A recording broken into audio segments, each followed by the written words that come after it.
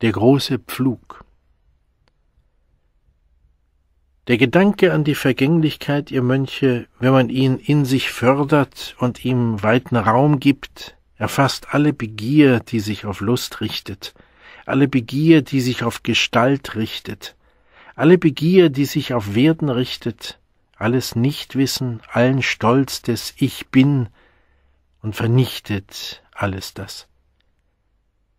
wie in der Herbstzeit ihr Mönche ein Pflüger mit einem großen Pfluge pflügt und alles Wurzelgeflecht zerreißt, so erfasst auch der Gedanke an die Vergänglichkeit, ihr Mönche, wenn man ihn in sich fördert, alle Begier, allen Stolz des Ich bin.